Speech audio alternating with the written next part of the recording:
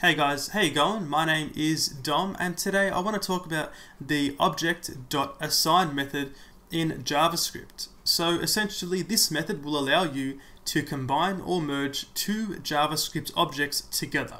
Okay, so it's actually quite useful. So um, to demonstrate this, I'm going to create two standard JavaScript objects. So um, let's define two constants here. So we'll call our first constant, we'll call this one course, which is equal to an object, okay? This object will, will have um, a single property, that being name. Okay, so we have a course, and then the name of that course. Um, the value for name can be something like web programming. Okay, so, um, you know, a student has gone to uni and he's studying the course of web programming. Okay, now um, this student got a score of 92 in web programming. So let's make a new constant and call this one grade, which is equal to, once again, a new object. This object will contain, once again, a single property, that being a score. Okay, the score will be 92. So here we have two separate objects um, you know, signifying um, a university course of web programming um, with a score or grade of 92%. Okay, so we're going to use the, um, the assign method to actually combine these two objects. Alright, so down here, let's make a new constant. Let's call this one final result, okay, which will actually be equal to object.assign. So we'll say object.assign. Okay, so it's equal to the return value of this assign method. Now this one will take in two arguments. It's going to be um, course and grade. Let's pass in course right here and then grade as the second argument. Okay? Let's now console.log the final results. Right, so now final result will have, um, it'll be a new object, um, a brand new object with the name and score properties and then their respective values. Okay, so let's now run this, um, this, this script, press enter here, and we get an object, name, web programming, and a score of 92. So we can see how um, that method there has actually combined or merged these two courses, oh, sorry, these two objects together. Alright? You can actually pass in um, multiple objects or more than two objects to the assign method. So I can put a comma right here and pass in a third argument.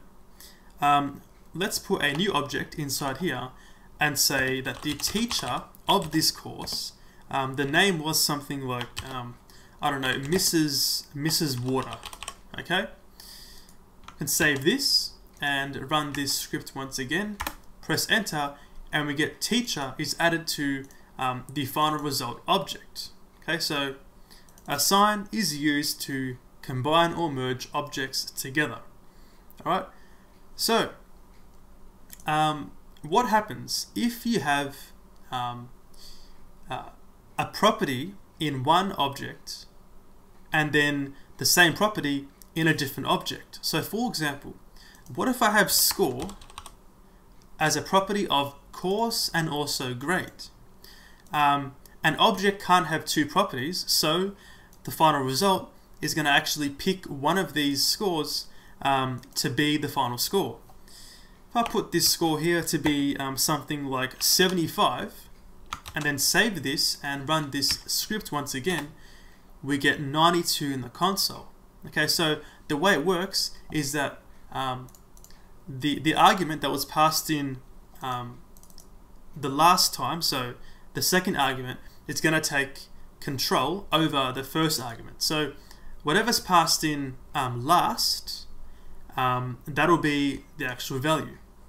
So if I make this one 12, okay, and run this script once again, we get 12. So the last object will be um, the actual uh, score uh, score value if there happens to be multiple properties sorry, multiple objects with the same property name. Alright, so that's that.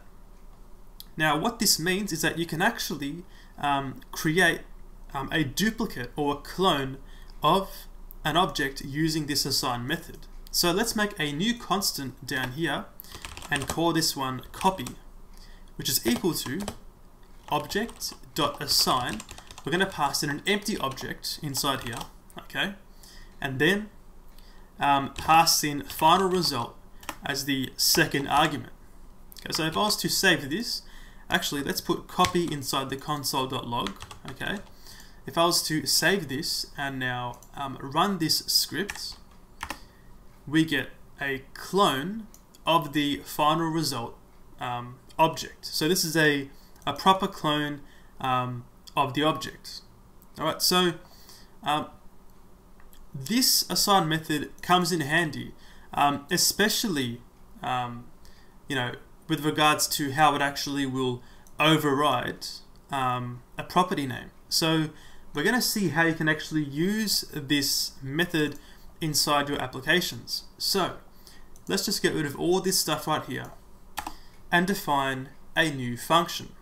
Okay, this function is going to be called something like um, print print name. Okay, this will take in an object being options. So it'll take in an options object. All right. This function is simply um, going to console.log and we'll just say um, we'll just log out the first name. So we'll say options dot first name um, and then we can say options dot last name so we expect that this this options um, uh, object will have a first name and last name property. We're going to just log it out. Okay so if I was to just say um, print name here and pass in an object, we'll pass in a, um, a first name, we'll say DOM, and last name can be dcode. Alright, I can save this and run this script, and we get DOM dcode.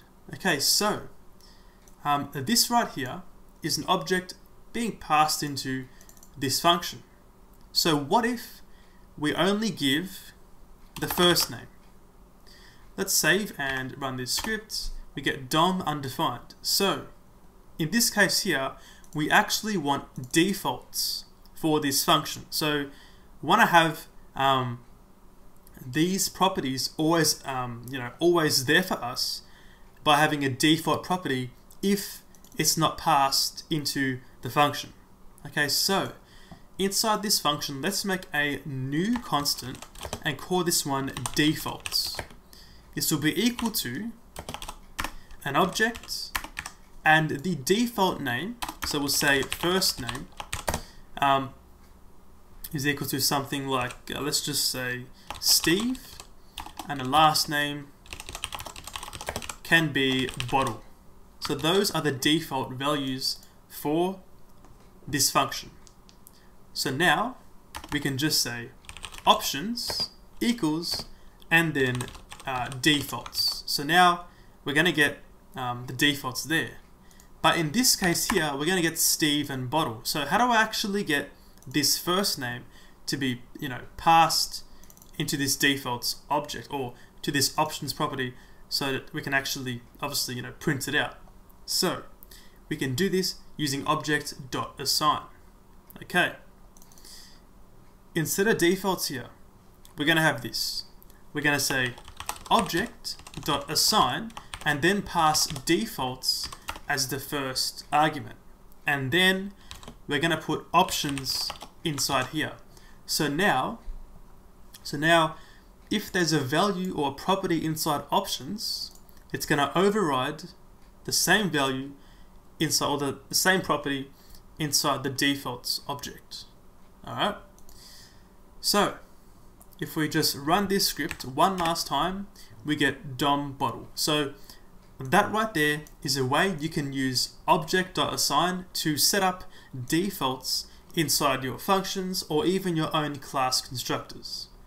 Alright, And that is how you can use the object.assign method in JavaScript.